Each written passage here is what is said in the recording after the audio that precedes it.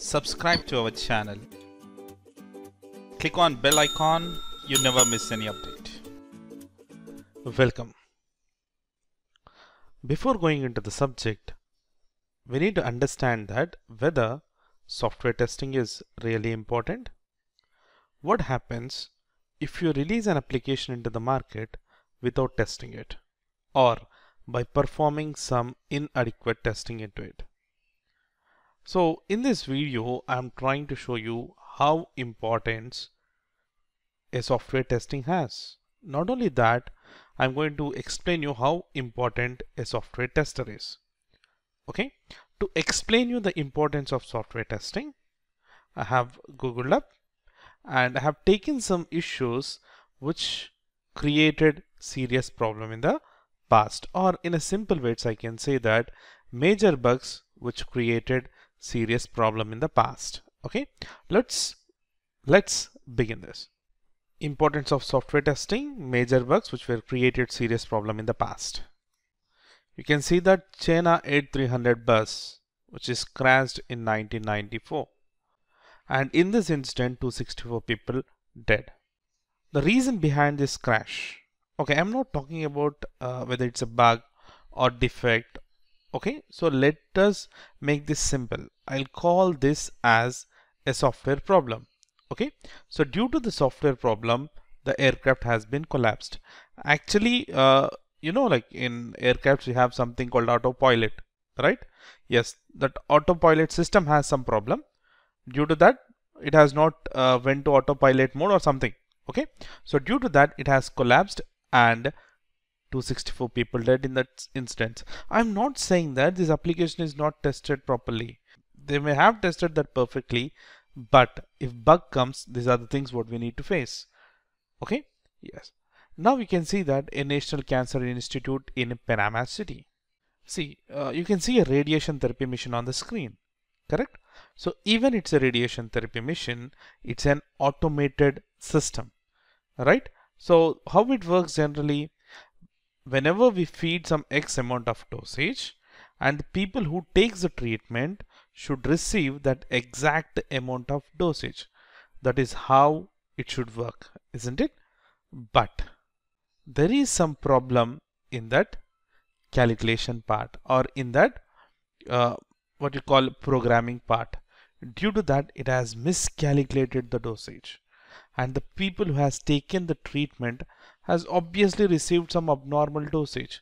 Due to that 8 people died and 20 seriously affected. Okay, again what is the problem?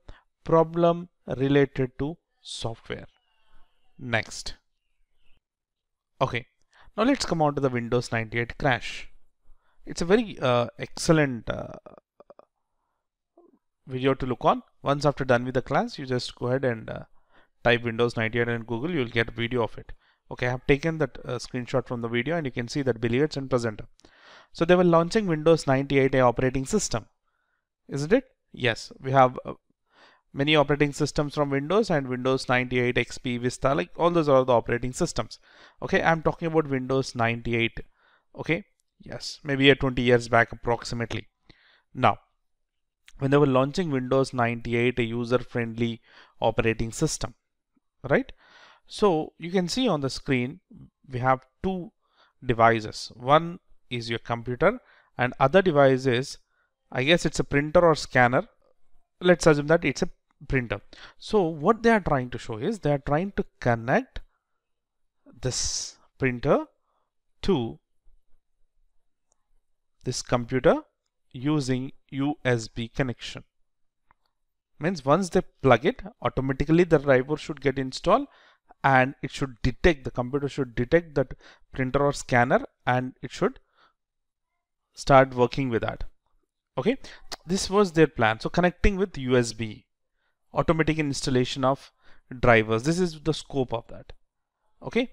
But see right now USB is very much common right? To access a pen drive you use USB headphones or the microphone what I am using to record this class I'm using USB for that okay USB is very much common now but not in 98 so what happens is this presenter plugs that into computer and suddenly blue screen appears and system crashes.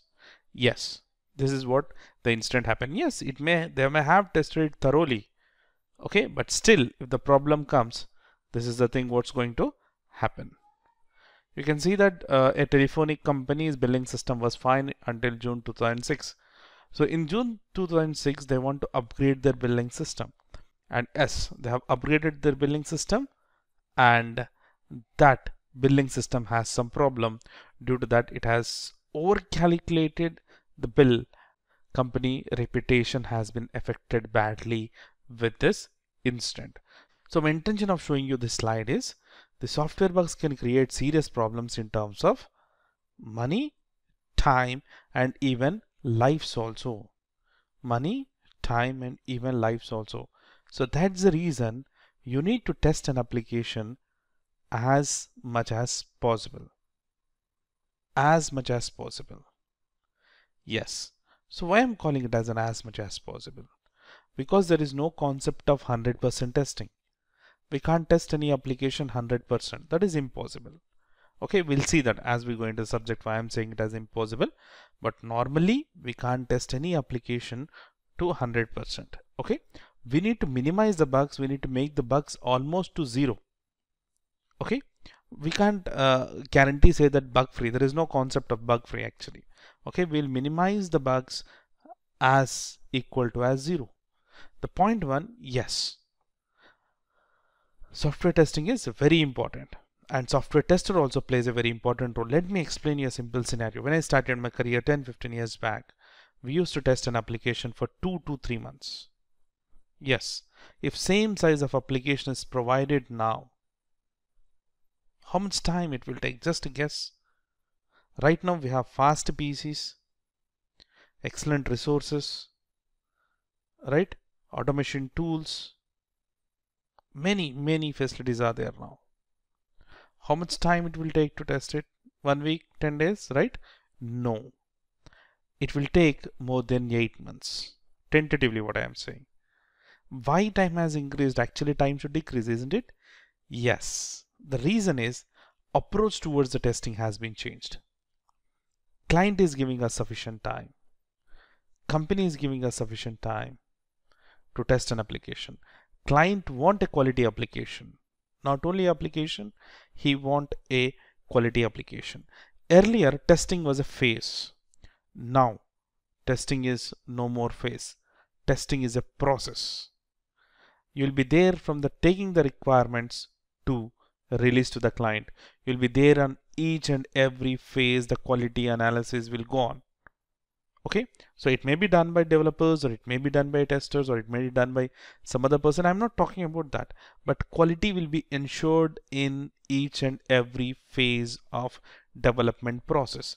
Let me explain you the importance of uh, quality too.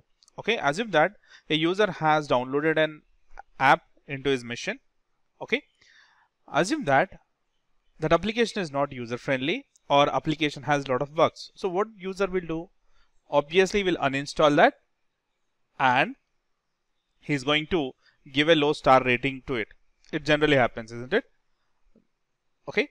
And not only that, assume that you have delivered an application to the client with a lot of bugs. So what client will do? obviously will reject it and he'll say that you have wasted his time and there are chances that he can file a case against your company saying that you have wasted his time and money. Okay, it happens. So quality plays a very important role, right? Yes. To enhance this quality, yes, tester is indeed needed. So what does it mean? You are there throughout the project. So you are involved completely in the process, right? Yes. So tester plays a very important role in complete development process. Without testing is we can't release that into the market. If you release it, these are the things what's going to happen. Okay. Yes. Now, in the next video, we are going to talk about few more interesting things about software testing.